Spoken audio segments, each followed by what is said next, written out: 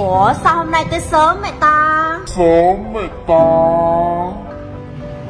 Tại vì lâu lâu mấy chục năm người ta mới có một cái sinh nhật. Mấy chục năm người ta mới có một cái sinh nhật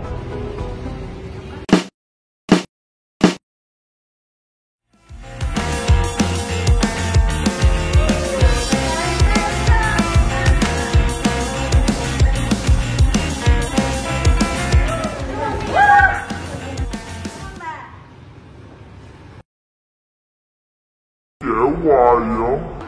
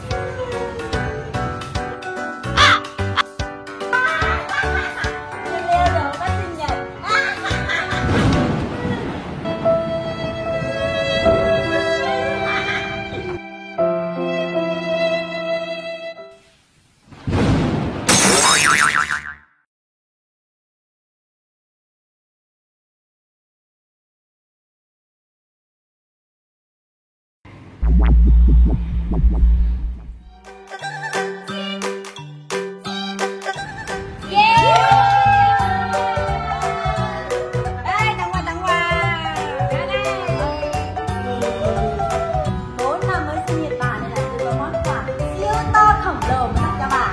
Nè, mở ra đi. Con đưa đi.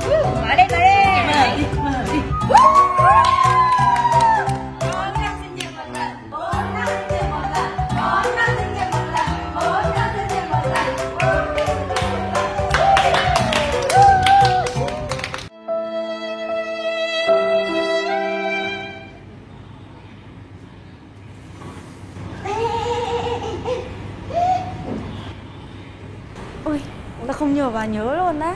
Tôi cứ tưởng mọi người quên rồi, tôi cũng tưởng bà quên luôn.